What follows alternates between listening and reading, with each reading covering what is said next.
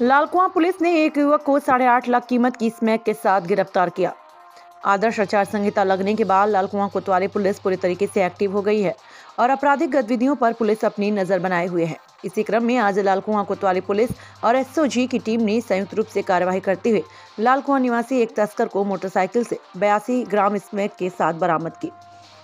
मामले का खुलासा करते हुए पुलिस अधीक्षक हरबंस सिंह ने बताया कि लालकुआं के नगीना कॉलोनी निवासी एक युवक के पास से भारी मात्रा में स्मैक बरामद हुई, जिसकी अंतर्राष्ट्रीय बाज़ार में कीमत साढ़े आठ लाख है।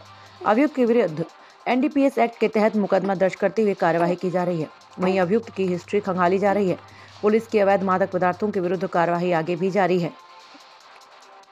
लालकुआ से उमेश सिंह राणा कल कोतवाली, लालकुआ और एसओजी की संयुक्त अभियान में मीर हसन नाम के, बाबू हसन नाम के व्यक्ति को गिरफ़्तार किया गया है, जिसके पास से बयासी ग्राम अवैध स्मैक बरामद हुई है और जिसकी अंतर्राष्ट्रीय बाज़ार में कीमत साढ़े आठ लाख रुपए है।